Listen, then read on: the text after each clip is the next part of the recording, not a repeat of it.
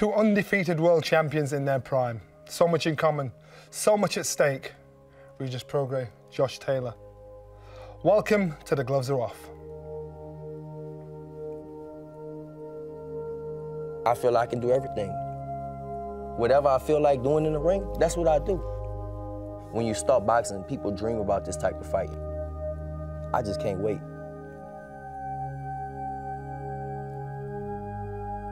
This is it, you know, this is what I live for. We're going to bring the best out of each other. I can do it all, so I just believe I'm better than them in every department.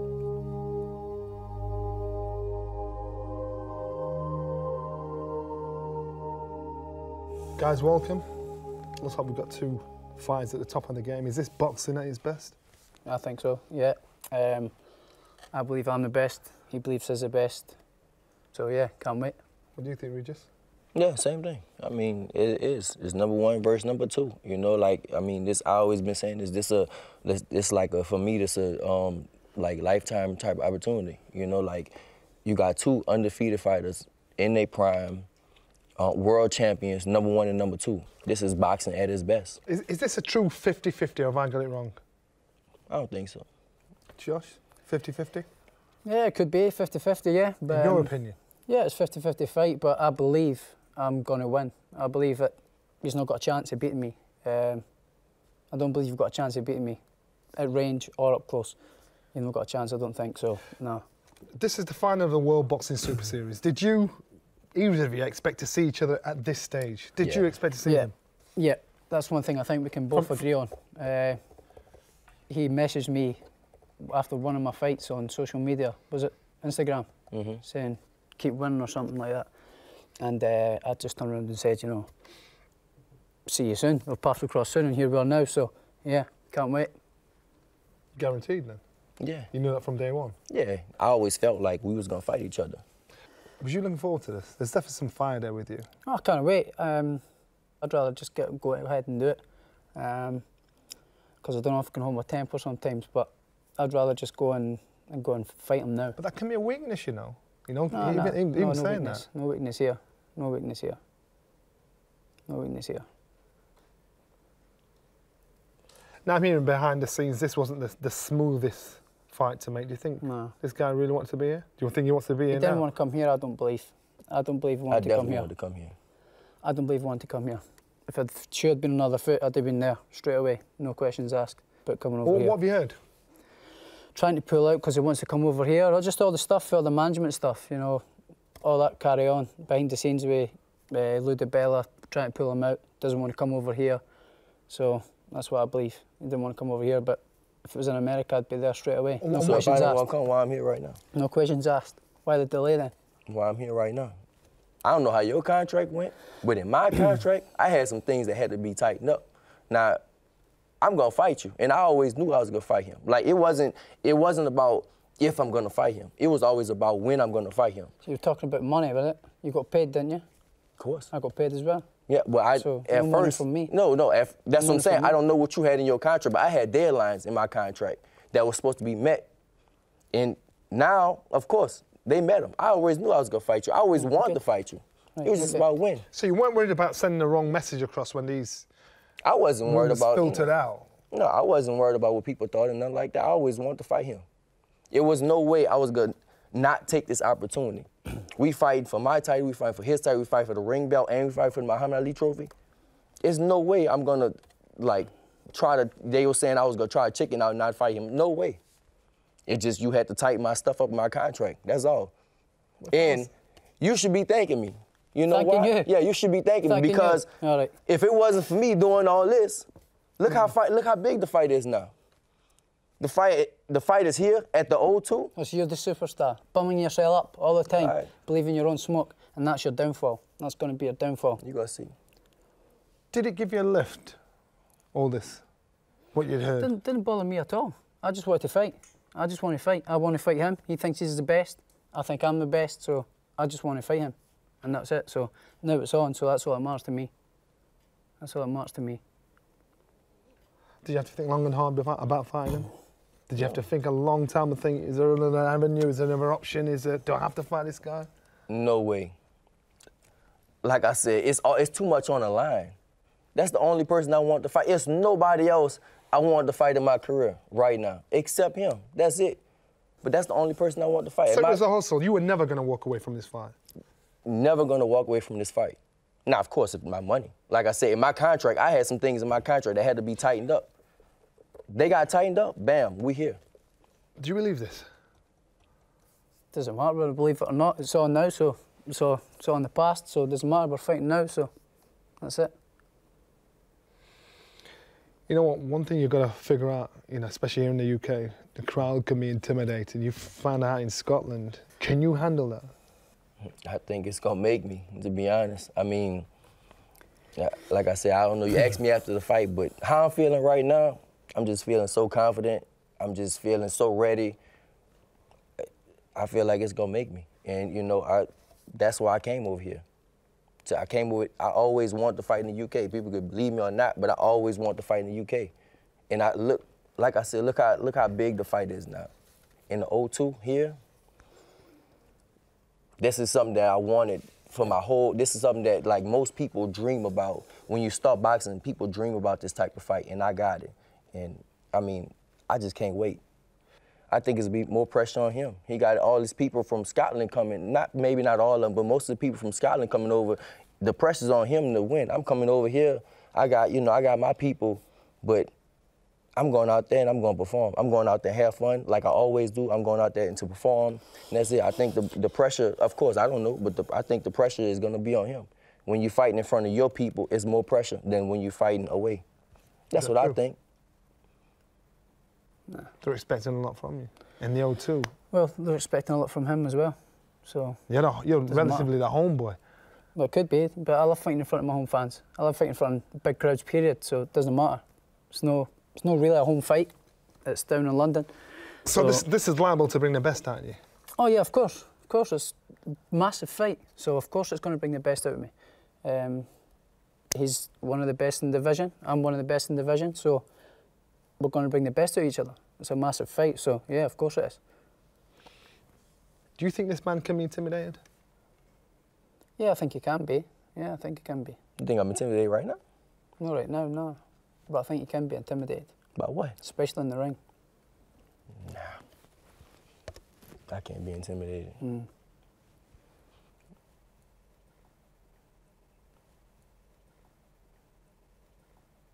I can see right through your bravado. You can't can see. see right through it. You can't can see see nothing. right through it. I can see it in your eyes. All right.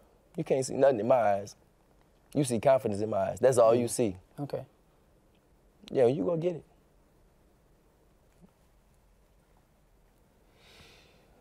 Have you boys crossed paths before? Ever? I had a story that you uh, just messed about scuffling and wrestling with him just to see how he was. Just to, just to see if he Oh, after get the that, was fun that in the it. casino? I put you in the headlock, yeah. yeah. Yeah, I didn't know what to do. Ah, He's come jiu-jitsu man. come He's on, jiu-jitsu man. Come on, Josh. Don't you start no, I walked up, put him in a headlock, says, uh, before you're the jiu-jitsu man, and you were sort of like, whoa. But then I just It was all, it's all fun jokes and and games. games. It was Fun like, games, yeah, all right. Don't don't don't say it was like it was Just nothing you know. serious. You just know to that. let you know. Don't say it was like it's nothing serious. it was just. No, all jokes and it games serious, playing. it was just we actually you know. sat together at the same time. I'm sitting with him, talking to his girlfriend, his sister, and all all his family and all that Yeah, stuff. it was so fun games, act- but still just letting you know. let me know what. Just letting you know, man. I'm ready to go at any time. Let me know what. You was let me know nothing. You was all playing at the time. Yeah, you was know, all yeah. friendly and Okay. stuff. It wasn't none of that. Don't act like. Don't say it was like a serious thing. I never said like it was, that. did I? You let me Did I? know. What you was letting me know. Just letting you know I'm ready to How, go how friendly you You're a jiu-jitsu man. You, you was letting me know how friendly you are. That's All what you was letting me know. You know, ready to go at all times. Are you used to being on the front foot? Are you used to, are you used to intimidating your opponents? Are I you don't used care to having about. their I heads up never you? cared about intimidating nobody. Never. I never cared about intimidating. It's, at the end of the day, this is all cool, but this not gonna win a fight. Like your eyes, you looking at me and all that, and talking and making like mean face. That don't that don't win fights. I'm not making mean faces. No, sometimes you try. You try to I'm make all like faces. hard faces and all that. st- That don't win fights. All the talking that doesn't win a fight. So for me, I never try to intimidate nobody. I, I just I say what it is. I say what's on my mind. That's all. I don't try to. I'm not gonna talk and try to intimidate you. No, that don't. For me, that don't matter. The only thing matters is the fight. That's it. Nothing else. Josh, you, you, you tell us you're, you're better than this man in every department. Tell us about that. Explain that. I just think I'm better than him in every department. He knows that. I think that Better fighter, No, better so- boxer, better mover, better thinker. What? everything. Yeah, better boxer, better fighter. Can do it all. Can go on the front foot. Can go on the back foot. I can fight. I can do it all. So I just believe I'm better than him in every department. What do you think of what you just said? Better than you in every department. Mm-hmm. I think the same thing. Better boxer, I think yes, better fighter. yes. Inside, outside, I feel like I can, I can beat him in everything. Just like he said. So that's why I guess it's gonna be interesting. Cause I, I mean, the thing, all right, you got 15 fights. In all 15 fights, you look the same, all of them. I got 24 fights. In all, most of mine, all of them, I look different. I give you all different bums, looks complete every bums. time. Complete Whatever. bums. You've not fought anybody that's tried to hit your back yet. Whatever. Hmm. Have you, anybody have you try boxed anybody like him before? Yes. That kind of confidence? Yes. As far as like how I came up, yes, definitely. As far as mm. my amateur days and coming up against who I who I didn't train with and stuff like that, yes. Who I didn't spar with, yes. World champions, a bunch of them.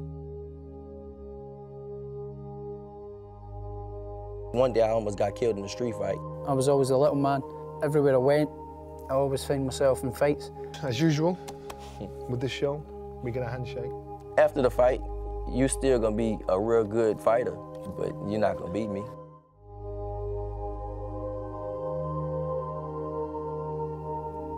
So what are you going to bring to the table? You know, the, the UK fans are now introduced to this young, fiery lion. What would you expect? Tell us what you're bringing. I bring me. I always, for me, it's I never have a game plan going. That's the thing about me. I never have a game. I always just go do me. Whatever I feel like doing in the ring, that's what I do. So I know they, you, you can't know what I'm gonna do because I don't even know what I'm gonna do. I, for me, when I'm in training camp, I just get my mind and my body, everything, just ready, physically ready, mentally ready, emotionally ready, and then in the fight, I just go do whatever, whatever comes out. That's all. And that it, it, I've been doing that every fight, all the time. I know I, I feel I can do everything. What's your story? How did you get into boxing? What, what brought you here? I just grew up fighting on the street. I mean, I don't know how it- most people. I mean, I'm a student of the game, and most people grew up fighting. They grew up fighting on the street. I grew up street fighting. You drifted into the grew up- ring and what? what I was just, you know, real good at fighting. I played football, played basketball, did everything, did karate and all that stuff. Um, but I played football in high school, and I was just whooping everybody.